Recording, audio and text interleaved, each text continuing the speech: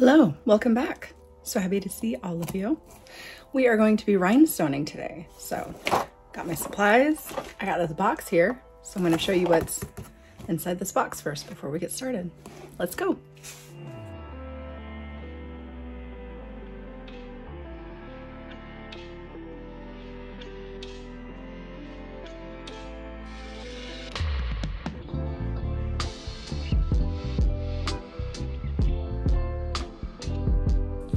All right, so what this is, is just a little mini, because we're doing rhinestones. So, you know, I had to get something for it. But this is like a little mini rhinestone thing. You can, and you can even take it on the go. It's real slim and compact, but I thought it was adorable. And I really, you know, I didn't know where to go to purchase one, but I, I seen lots of great uh, reviews for Deno's tumblers. So I thought this would be a great starting point for me. And then if I decide I want to get, because I thought about getting a new little mini one for my desk here.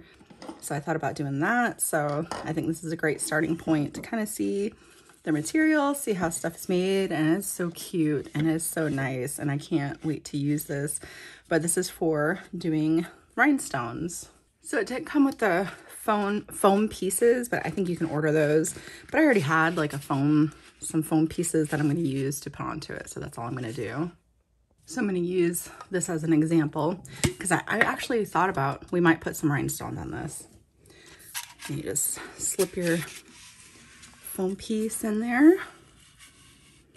And then it has this little push button there. So that way you can snap it right on. I'm gonna slide that on just a little bit more so it's not so far down. There we go. And then it's just as simple as turning this little wheel. And you can glam up your, your tumblers. So that way it's not resting on the table and you don't accidentally anything. All right, I'm gonna push this off to the side for now. Like I said, I might come back through. I might add a couple little things on this, we'll see. I'm gonna start off with something small though, uh, for my rhinestoning project. I'm just gonna start off with my X-Acto knife. And then if I feel up to it, I may come through and rhinestone, because this one's finished, because you wanna do it on a finished surface. I, am thinking I might come through and rhinestone the little decals in the in, in this. So we'll see. We'll see how it goes. all right, so all I'm gonna do now is I'm just going to kind of prep my area to do my rhinestones. So I don't have a cool little shaker dish. I just have my epoxy coaster. That's what I'll put my stuff in. But I'm gonna go ahead and take this apart, kind of prep it a little bit, take off any oils or anything like that, maybe rough it up just a tad, and then we'll get started with rhinestoning it.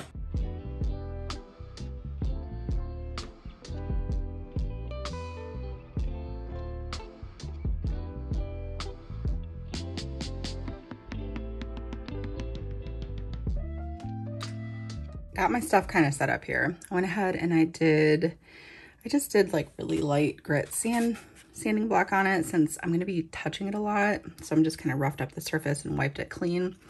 This here that I'm holding it on, I bought this a while back. This is just a pen turner attachment piece that I got at, where did I get the Hobby Lobby, I think? I think it was Hobby Lobby.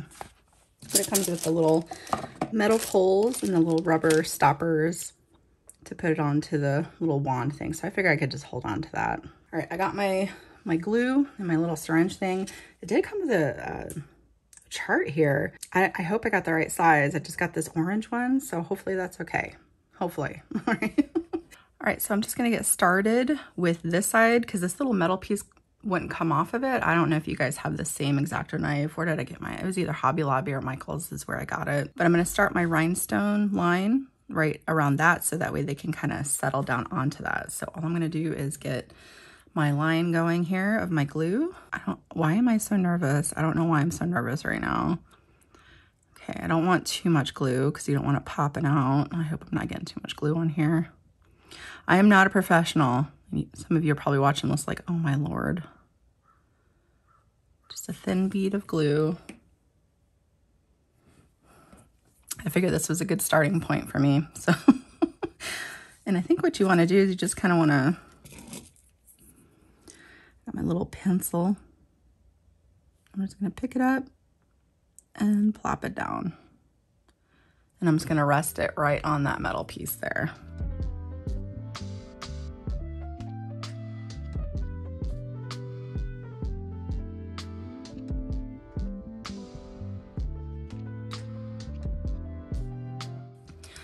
I'm just going to come through and make sure this line is nice and straight.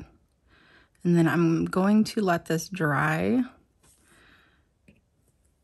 for a little bit so that way it doesn't move around on me. Good starting point for everything I want to do after this. All right, this is a little bit dry now. Pretty much with this, I don't, I'm not, I don't have any type of pattern going here. I know there's different patterns and stuff, but I don't really have like a pattern in mind. So I guess this is what you would call a scatter method because it's just going to be a bunch of different sizes all in there. Uh, you guys let me know. I, I know there's some of you out there that are like, this is all you do. So like I said, this is a great beginner's thing because it doesn't really matter. It's just my, my uh, X-Acto knife here. So I'm just gonna go ahead and get my glue going some more. And then I'm just gonna randomly Maybe I'll start adding some bigger ones in there if I can get them turned around. I guess this is why you guys have those trays. Now, I don't want too many, too many big ones. I want it to still be easy to hold.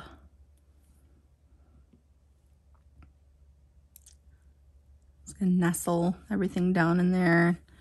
Add Ryan, little, little baby rhinestones here and there. Maybe as fillers, I'll do that. But yeah, if you guys are like on the fence, like, I don't know if I want to do it, just start with something small like this, you know, just, just start with something small, something that you use so that way you can kind of show it off, you know, if you like it. so that's why I decided to use this because then I can show it off and be like, hey, look what I made, you know? So that's pretty much all I got going here. Not the most exciting thing in the world. I'm just going to continue to kind of layer on where I can fit everything in there. Maybe I'll do a couple of those like that. I don't know. Just kind of going with the flow here.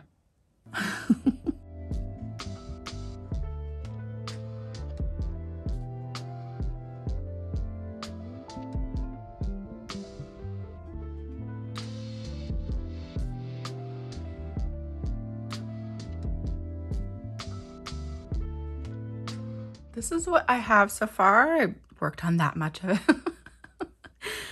but um, I was starting to pick up a little bit of speed, so I felt more comfortable and I added a little bit more glue instead of just one uh, row at a time. I added more glue so that way I could stack a little bit faster. But but once you get going, you get a little bit more comfortable with it. You can just add a little bit more glue, I guess, and keep going that way. But yeah, so my pattern isn't anything. I'm assuming this is what you would call the scatter pattern. I, I don't know.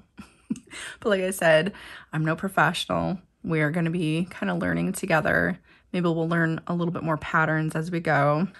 Also, another thing I did notice is you just got to be careful making sure that they're all firmly pressed against uh, whatever surface you're putting them on because when you slide it in there, if that glue's not dry the row before, it might push your little rhinestones kind of up so you just have to go back through and just be diligent and kind of check, triple check, double check, make sure everything's firmly pressed down so that way, you know, nothing pops off on you when you go to wash it the next day.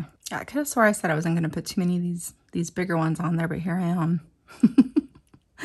I just really like the way they look. I think they look super cool. They look like bubbles. So I think to finish this off, I'm just going to kind of do like an ombre type look. So maybe I'll have some kind of scattered down. I don't know if I want to fully put stuff on here or not. I haven't decided yet. No, I think I'm just gonna kind of lightly trickle some down.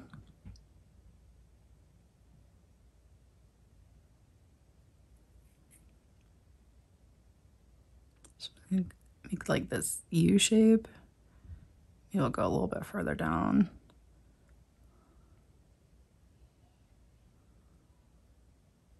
I know she ain't perfect at all, but I, I think I'm doing okay. I think I'm doing all right. Okay. All right. Now I'm just to fill in the those lines that I did there to kind of finish it up.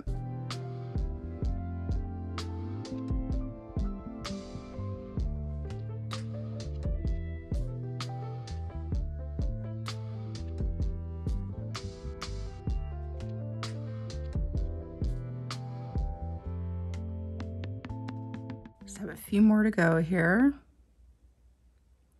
I didn't time myself. I have no idea how long this took me. I don't, I feel like it didn't take me that long, you know, but you know, I don't know. I, I didn't time myself. So maybe next time I'll, I'll time myself. I think I did okay. See if I can get my line a little bit straighter here. There we go. It is so hard to tell which ones are not pressed down and which ones are. Like I'm, I'm like nervous. Some of them aren't pressed down, but that's okay. Just come back through and fix it after everything's all dry and kind of pop it out and fix it. I'm assuming. All right, I'm gonna let that dry and then we'll see how she she's looking. All right, I lied. I added a couple more of these like just in like in groupings of three. There we go. Now it's done. I'm gonna let that dry. All right, so for this one, I I'm gonna go ahead and move on to this one. I'm just gonna do where the gold is at on this, and I'm gonna be using Heaven Light for that. So um, it's looking like I'm gonna need a couple different sizes for this, so I'm just gonna go ahead and open up the whole thing and kind of pour out a little bit. All I'm gonna do is just, I'm probably just gonna kind of outline because it probably should move pretty fast. So I'm just gonna take my glue, do a very thin bead of my glue right around. You know what? Maybe I'll start with the words first. I think I'm to start with the, the middle and then do the, the circle around the outside. So that's what I'm to do here. I'm just to, very small amount of glue. It's this size here. Perfect.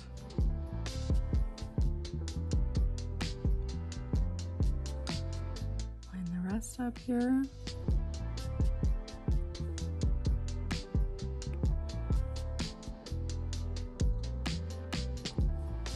it's even and press down.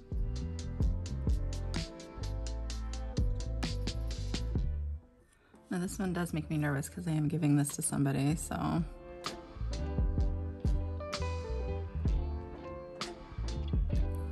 want it to be perfect.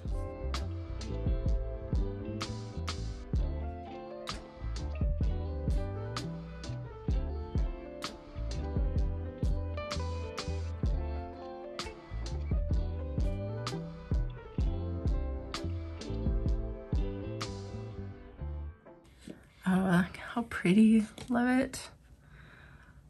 Love it. Okay, so now I'm just gonna do the circle and then I'll get started on that.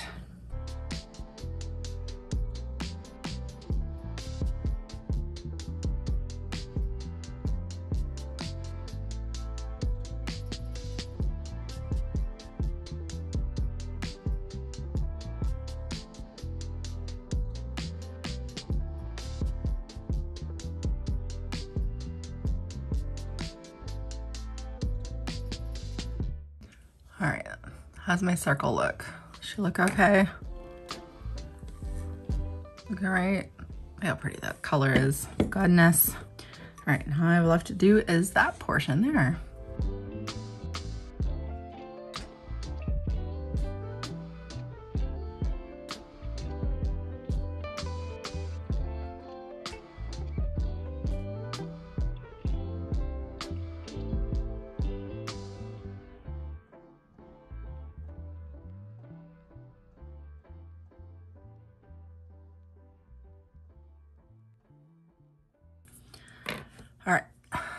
Done with that. Cute, cute.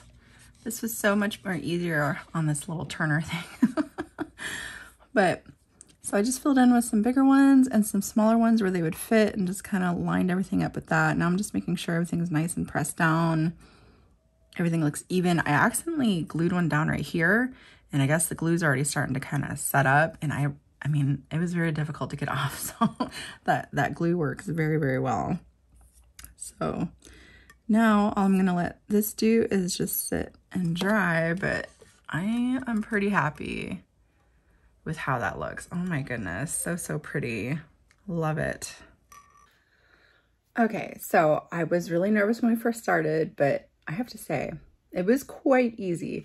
It's a long process, but it is super easy.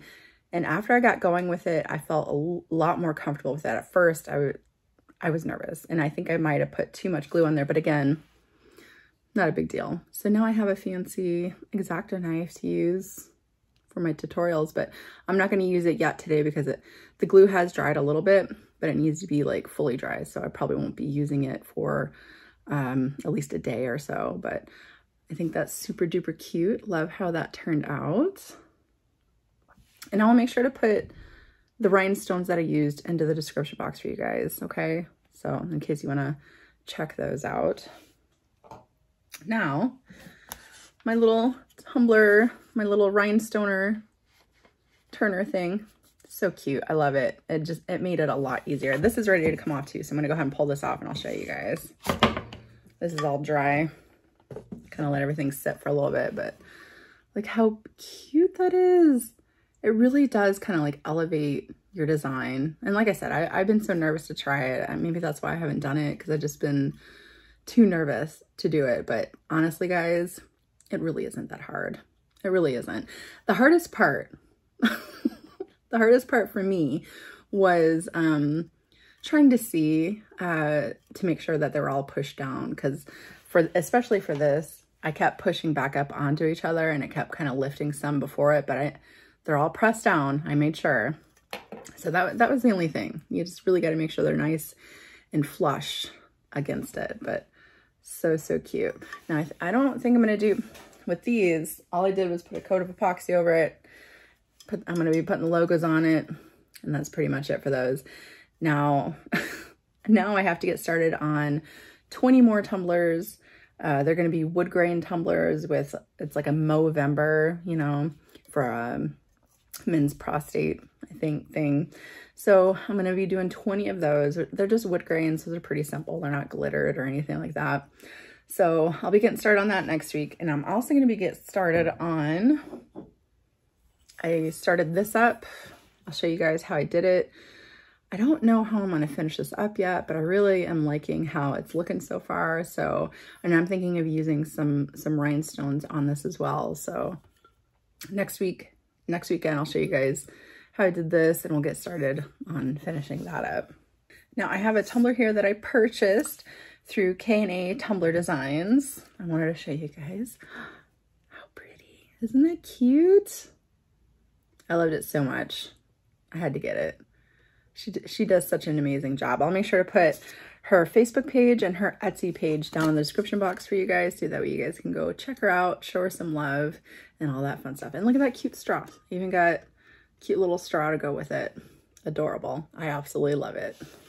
All right, guys. Well, I hope you're not too nervous. You've seen me do it, okay? If I can do it, I know you guys can, can do it too. I know you got this, all right?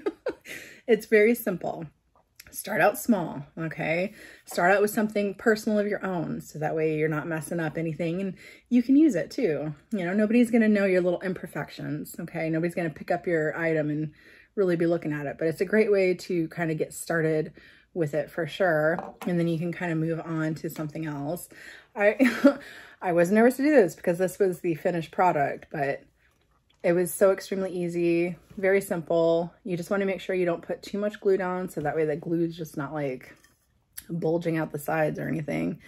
And then when I give it a good scrub tomorrow, we'll see if I did a good job. that's that's when we'll know, okay?